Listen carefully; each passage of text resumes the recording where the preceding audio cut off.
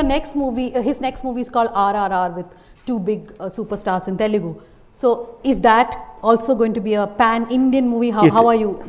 It is a pan-Indian film Okay. because because uh, because the nature of stories is It's like again a that. fantasy movie. Uh, don't ask me more questions on RRR, but it's going to be a pan-Indian film. Yes.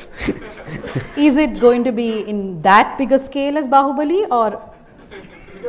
I mean, we should slide in questions, right?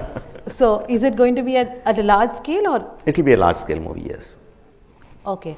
So, because we are sitting in Harvard, and I'm sure there are a lot of students from the business school too here, and there have been a lot of conversations happening on startups. So, as a movie maker, uh, um, for the people who run their own companies or startups, what, how, what do you think is the lesson that they should take from the film industry? That are things just not in your control, or are things in your? Uh, is planning a huge part of it?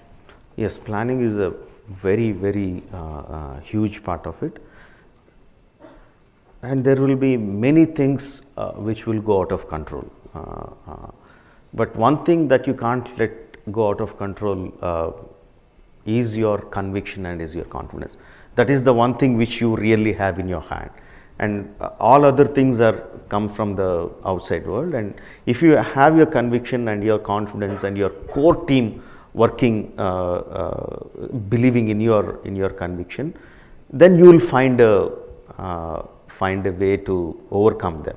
Sometimes you will be falling flat on your face, and But you have uh, never uh, had that experience we had many many experiences of your Uh, movies because I thought all of them were commercial hits.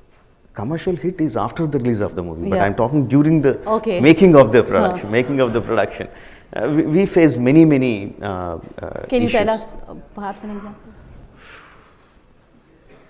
Okay, um, one of the biggest thing is uh, when we are making uh, Bahubali Part One.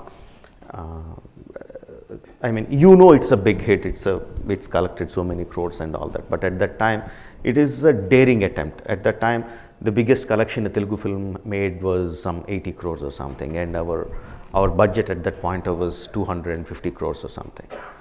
Uh, So, uh, and every rupee was important, and we were working on such uh, tight scales and everything. And suddenly, there, the federation called for a strike.